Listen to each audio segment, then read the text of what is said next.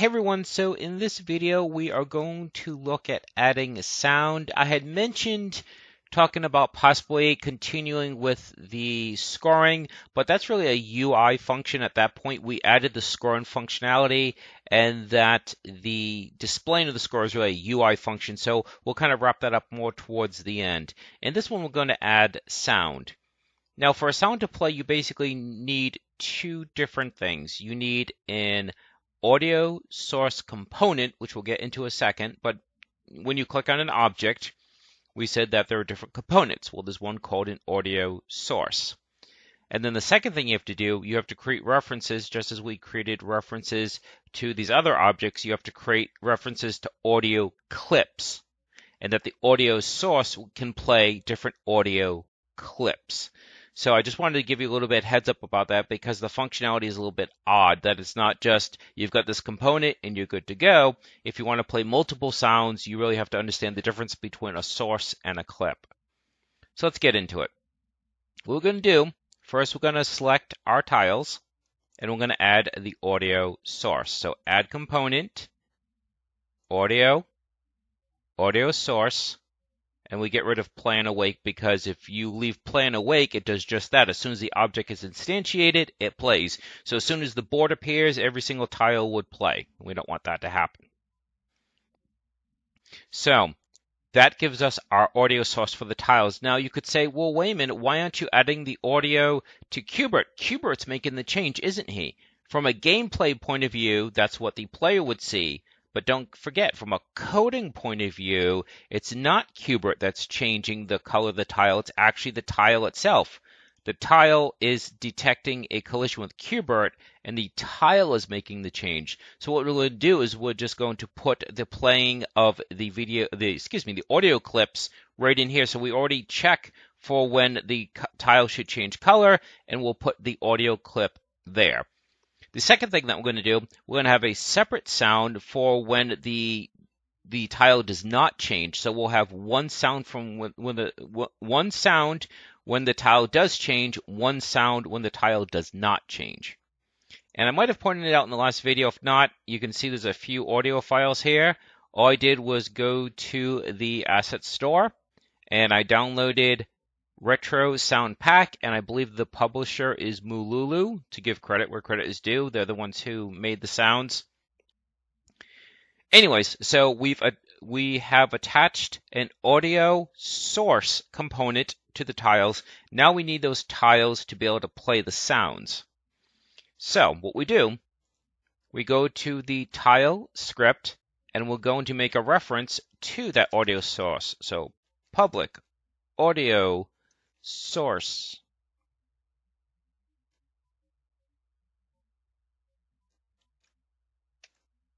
and we'll call this tile sounds.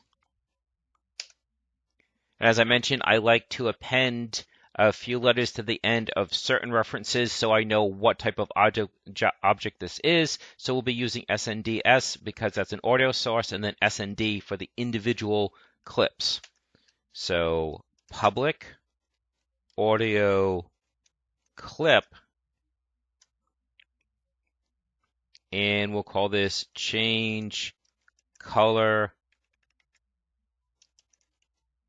SND public audio clip. No color change SND. And then if you need more and more sounds, you can just keep putting them here. Like maybe you want a separate sound for when nerd reverts the color. But once you see two or three of these, it's just rinse and repeat at that point. Okay, so let's go back to our objects. Okay, so what we need to do we need the tile sounds is looking for an audio source. So what we need to do is we need to drag the audio source to there. Selecting all of them may not create the option. It might not create the effect we want to. You can try it. I'm just going to, to play it safe. I'm going to drag the individual audio sources to the individual references on them. So it'll take a few extra seconds, but I just want to make sure that we get the effect that we want.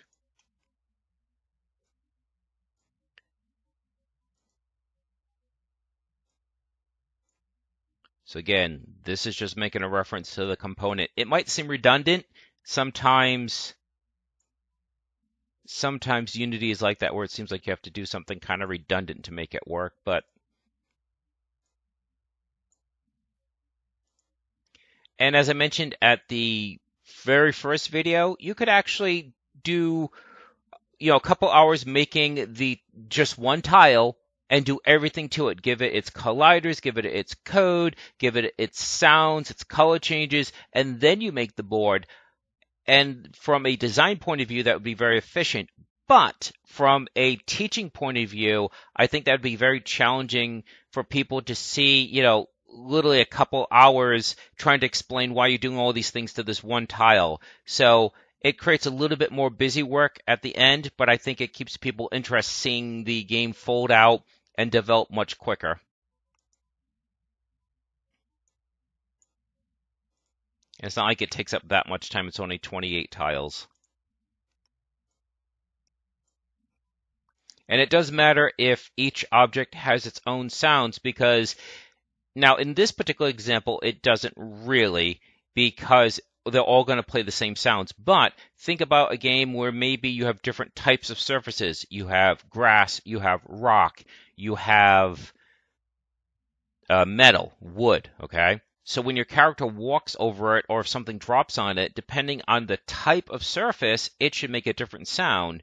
So in this case, it could just, you could call it, say, sound one and sound two or whatever, or collision sound, and then each one would get the appropriate corresponding sound.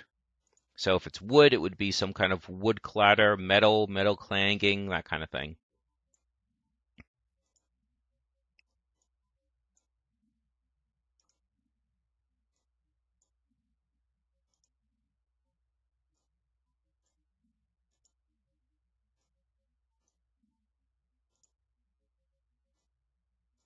If nothing else, seeing this, it reminds you that this step needs to be done because I think that this is an easy step to forget. Because again, it seems redundant. It's like we have an audio source component. Why do we have to make a reference to it? But that's the way it works.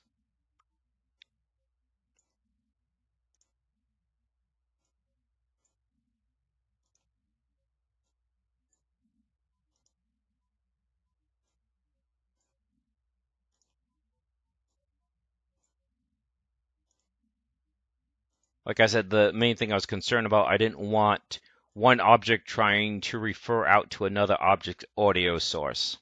So that was the main concern I had. But again, if you want to try it, that's fine. So now what we need to do, we now need to assign the audio clips. Now that we can do as a group because the clips are coming from down here. So we're going to select them all.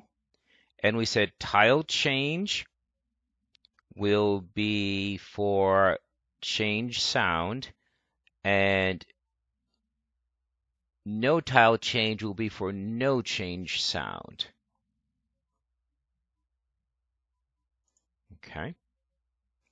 Back to our script. So now those have been populated. So now what we need to do, we already have this section which checks for whether or not the color should be changing. We just have to make the right sound clip, the right audio clip be associated with the audio source. And a brief splice there, I needed to change the settings on my video and audio capture. I normally don't capture system audio, that way I can listen to music in the background and it doesn't get recorded. But obviously, if I need to demonstrate the sounds are working, then I do need to capture system audio. So if my voice sounds any different, any fainter, that's why. Okay, so we said that in the tile conscript, this is where we're detecting whether or not a tile needs to change color. This is where we say the tile does need to change color, and therefore this is where we need to change the sound. So first we have to refer back to our audio source, which is tile sounds. And then we're saying that we're going to change the clip that's associ associated with that sound, with that source, excuse me. And then that is one of these. So here we said that we want it to be change color sound, and then we just play it.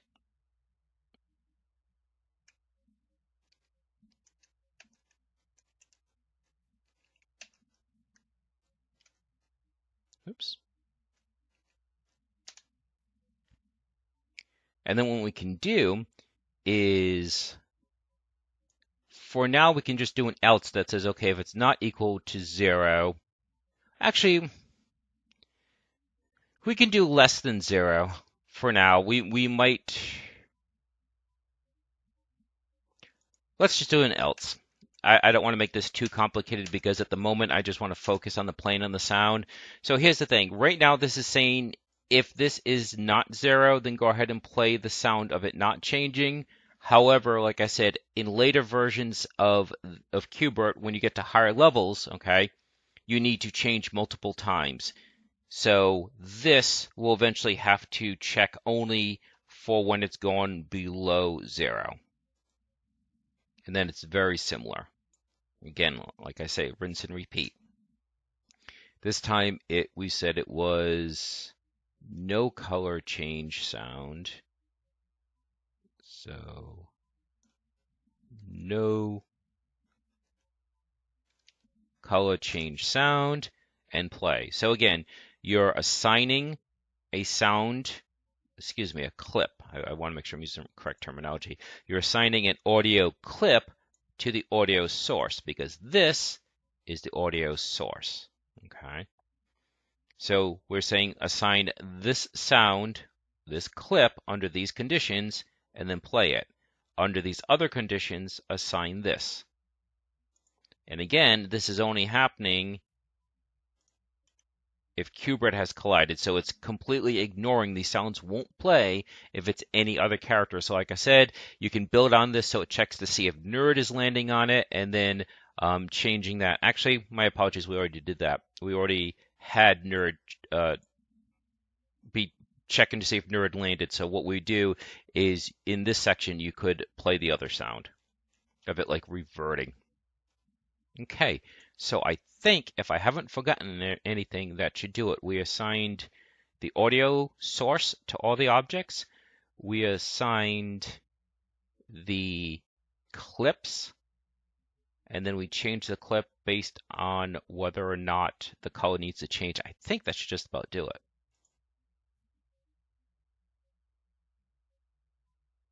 And actually what I'm going to do, just to keep things from being confusing, I am going to reduce the spawn of the nerd and the blob. It doesn't matter what number, I'm just trying to make it a large number.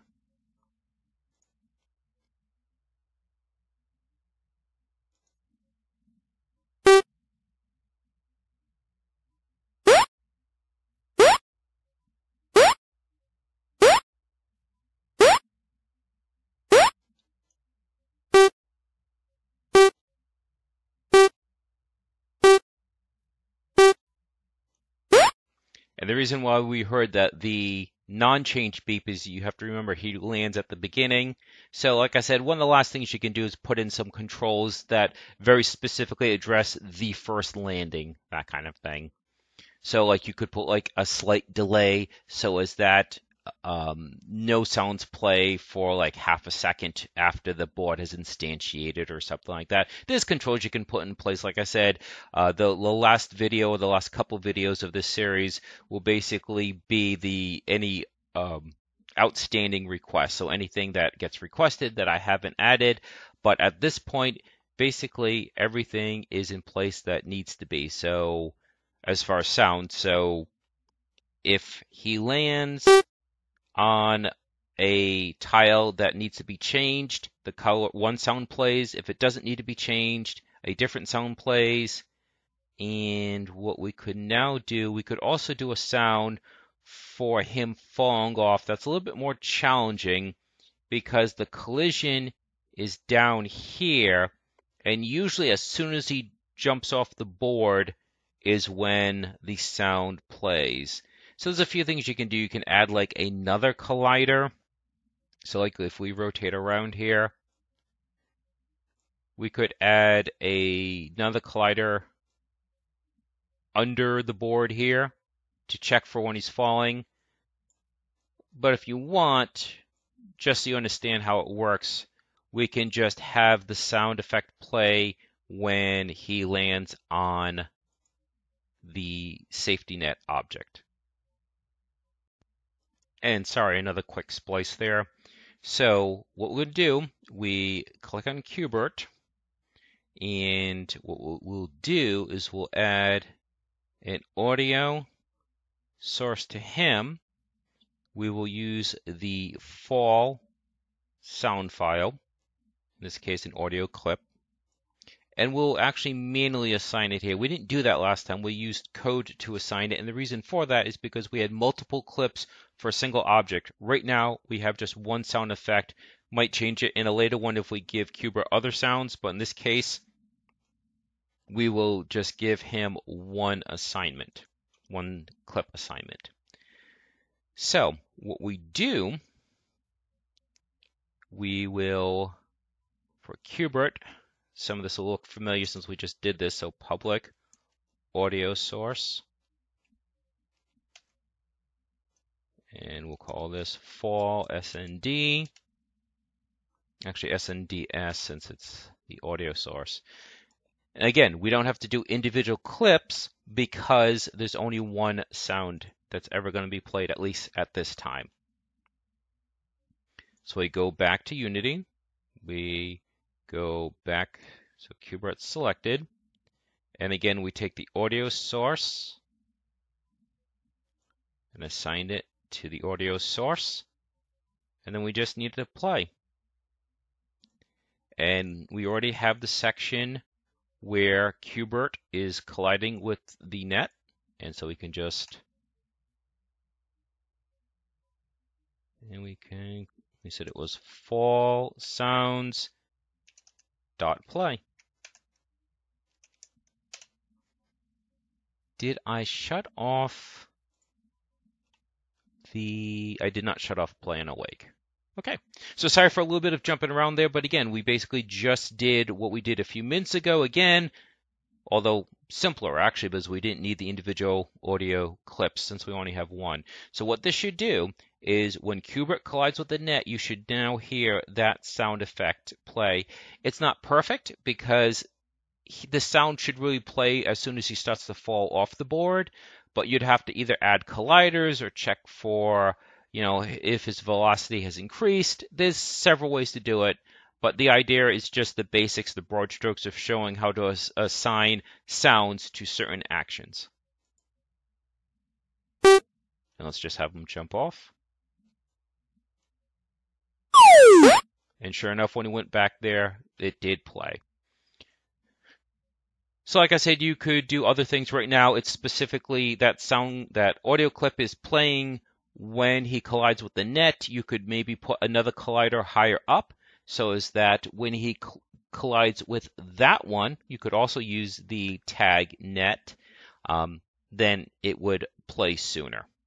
Okay, so I think that's it for this video. I hope this was helpful. Sounds can be a little bit confusing because you have to differentiate between the audio source. And as you can see, if you look at the component, it's basically determining how a clip will be played versus the actual clip, the actual sound wave. Okay, so that should do it. I hope this was helpful. I hope you have a good day. If there's any features you want to see, please leave a comment. We're getting really close to the end here, I think, so we need to do a title screen we need to do the scoring that I mentioned in the last video. And then that will just be about it. At that point, it will be if there's just any outstanding requests. So uh, hope this was helpful and ho- helpful, and I hope you have a good day.